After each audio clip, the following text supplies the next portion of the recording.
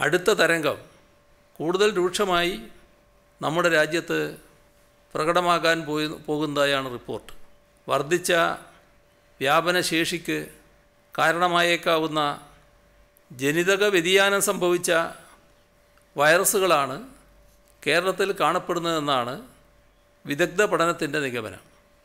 അയൽ സംസ്ഥാനങ്ങളിൽ രോഗവ്യാപനം ഗുരുതരമാകുന്ന സാഹചര്യം കേരളത്തിൽ വലിയ ആഘാതം തന്നെ സൃഷ്ടിക്കും.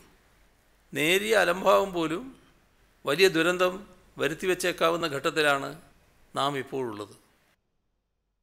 കൂടുതൽ വിവരങ്ങളുമായി ആർ അജയ് ഘോഷ് ചേരുകയാണ്. അജയ് ഘോഷ് മൂന്നാം ദിവസവും നാലായിരം കടക്കുകയാണ് കോവിഡ് രോഗികളുടെ എണ്ണം. ഒപ്പം സംസ്ഥാനത്തെ ഏറ്റവും ഉയർന്ന പ്രതിദിന വർധനയുള്ള ദിവസവും ആശങ്കയ്ക്ക് ഒട്ടും കുറവില്ല എന്ന് വേണ്ടേ മനസ്സിലാക്കാൻ എന്തൊക്കെയാണ് ഇന്ന് മുഖ്യമന്ത്രി വ്യക്തമാക്കിയത്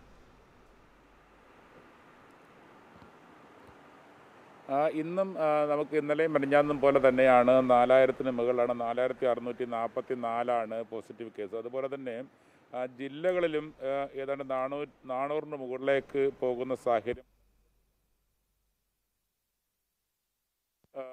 തൊള്ളായിരത്തിന് മുകളിലായിരുന്നു. ഇന്നിപ്പോൾ എണ്ണൂറ്റി ഇരുപത്തിനാല് ആണ് പോസിറ്റീവ് കൊല്ലത്ത് നാനൂറ്റി മുപ്പത്താറ് അതുപോലെ തന്നെ കോഴിക്കോട് നാനൂറ്റി പന്ത്രണ്ട് തൃശ്ശൂർ എറണാകുളം മുന്നൂറ്റി അമ്പത്തേഴ് പാലക്കാട് മുന്നൂറ്റി നാൽപ്പത്തൊമ്പത് മലപ്പുറത്ത് അഞ്ഞൂറ്റി മുപ്പത്തി നാല് ആലപ്പുഴ മുന്നൂറ്റി നാൽപ്പത്തെട്ട്. ഇങ്ങനെയാണ് കണക്കുകൾ. എല്ലാ ജില്ലകളിലും ഏതാണ്ട് എല്ലാ ജില്ലകളിലും ആറ് ഏഴ് ജില്ലകളിൽ മുന്നൂറിന് മുകളിലേക്ക് പോകുന്നൊരു